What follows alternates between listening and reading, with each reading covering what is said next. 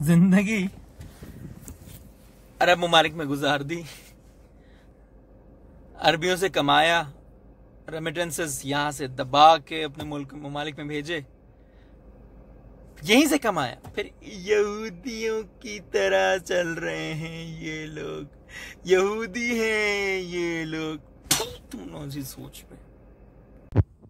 असल में नमक हराम इस तरह के लोग होते हैं।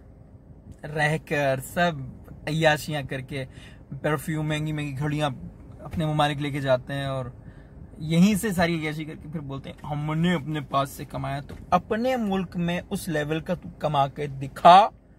फिर बात कर, यहाँ से कमाएगा, यहाँ के बारे में उल्टा सीधा बोलेगा तो तू नमक हराम है।